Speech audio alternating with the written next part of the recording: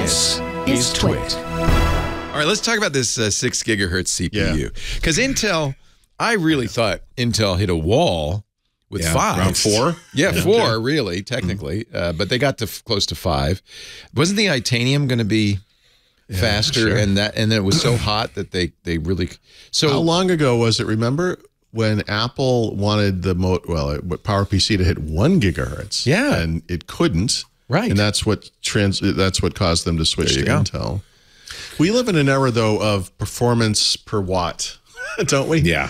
I mean, it's, it- worms. it is fascinating that the value that Intel can still add is to just throttle this thing and make it go. what's the crazy, so- TPU on uh, on a six gigahertz? Right. I think it's a 150 It's like watts. I think. you could heat the I house. don't have is what you're saying. It's, it's yeah. when you, you first of all, you need the same plug uh, that you use for your dryer or a Tesla. you need 241. when you when, when you boot up your computer, it's like that scene in uh, Christmas Vacation where all the lights in the town go on down and then the Yeah. nuclear power comes up. I remember yeah, Tom's Hardware demonstrated getting a processor to five gigahertz by cooling it with liquid nitrogen. Yeah, remember those days? Yeah. 2003 or 2004 with Yep. the P4s. Like, yeah. So this thing's 24 cores, 8 performance, 16 efficiency. Wow. So this is the 13th gen desktop class chip. So they announced the original. Oh, the family of these TDP is the- uh, the TDP is 150 watts. it is 150. That's a base. That's the base TDP. Yeah. This is a core, yeah, right, exactly. Uh, core, yeah, uh, core, core i9, right? Like you said, 24 cores. Um, yeah, six gigahertz without overclocking, and it can be overclocked, by the way.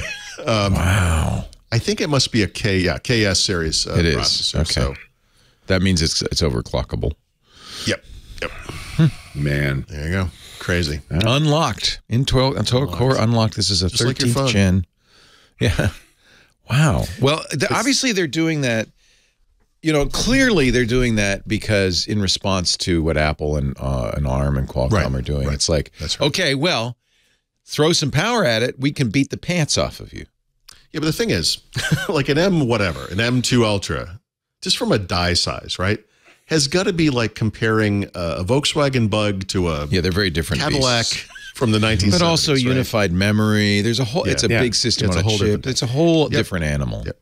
Yep. Well, the point being, I wasn't being held up by my CPU in the first place. Yeah. So there. Right. Like right. that's not the CPU for the most part smokes cigarettes and plays poker, waiting for memory Right. and network to catch up. right. That's right. That's right.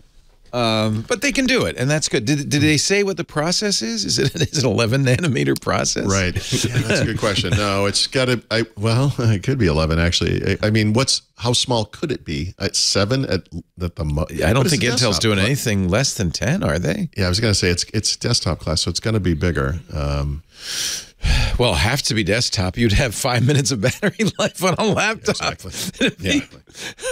I'm just gonna plug this into the plane.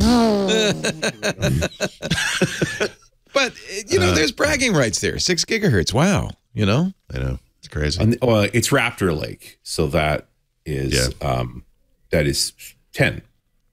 Raptor Lake is ten. 10 nanometer. nanometer. Okay, there you go. Yeah. So this will be the only system that's capable of uh, displaying a Windows 11 context menu in real time. so, you know, and, He, and once he again, spent I think hours on that one. Windows is ahead of Windows is ahead of the hardware. I'm just saying, you know. So I mean, some days Look how of us will responsive my and see a search pill is. Yeah. It's like you right click and you're like one, two, there it is. It's you know, the the, the list price is six ninety nine, which seems to me not that expensive. I was gonna say that's not that bad for what it is, No. right?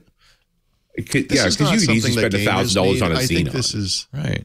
Yeah, this is right. This is kind of a workstation class thing, I would think. I know it's not a Xenon, but it, it Xeon. like this is a Xenon. I'm Yeah, what did I say, Xeon. Xenon. Yeah. Xenon. Xenon, would be a the, uh, noble glass.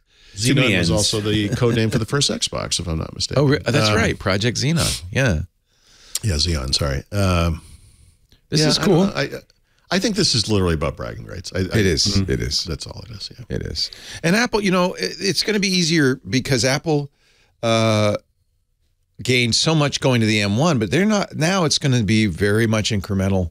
We've already seen it Which with the we M2. saw, by the way. So uh, one of my annoyances with this uh, Apple uh, video it wasn't really an event, I guess, was they compared the speed of every one of the chips they announced to its predecessor. Oh, and also to the last generation Intel that we used, which by the way was like three right. or four years ago right. in some yeah, cases. Right. Like, like it's like, yeah, of course there's, it's double. There's a reason for that though. The, they were still selling Intel yeah, Mac Minis. They no, were still selling Intel iMacs. Well, but they so, had it. Mm-hmm they were, but they also had M1 versions. yeah, but they I mean, but this was this stuff is they're no longer selling that stuff. So I think okay, that, I think the idea is well, you know, this is why yeah, we're not I, I guess. But if you look Intel. at but to your point, when you look at the performance advantage of each of those chips over its direct predecessor, it was low, maybe low double digit. Yeah, like it's like 20, maybe not even. Okay, yeah. maybe. Yeah, maybe. I mean, so yeah, we're starting to see that kind of curve even out. Um, which makes sense. This thing's you know, and to Richard's point, doesn't matter because most of the time I've not I haven't felt like any laptop I've ever I've used in the last five years has been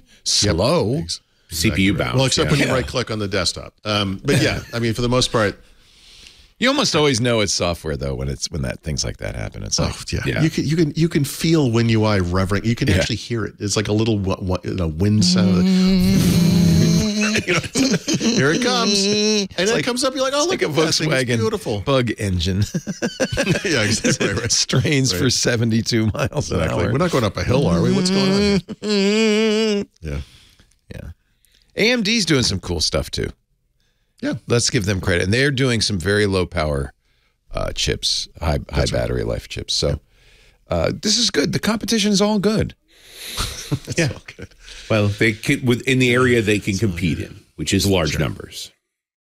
That's the thing. That, that, actually is kind of my point. Like this is this is where Intel can innovate right now. Mm-hmm. it's sort of like with the eighth gen. Remember, they went from dual core to quad core on the uh, on the U series. So it was like this is where we can provide, you know, value add. It, it, we don't have that super efficient power per watt thing that Apple's talking about. It's going to be a while. We're working on that.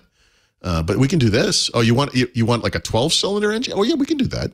you know, that's the, their big block. You know, that's that's kind of where they're at still. So they'll get there or they'll disappear. You know, either way, we'll we'll, we'll survive.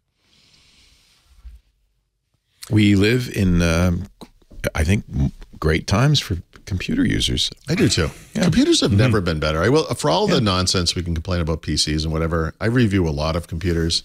Computers today are terrific. Mm-hmm. they really are. They really are. They're just terrific. Okay. Listeners of this program get an ad-free version if they're members of Club Twit. $7 a month gives you ad-free versions of all of our shows, plus membership in the Club Twit Discord, a great clubhouse for Twit listeners. And finally, the Twit Plus feed with shows like Stacy's Book Club, The Untitled Linux Show, The Giz Wiz, and more. Go to twit.tv slash clubtwit, and thanks for your support.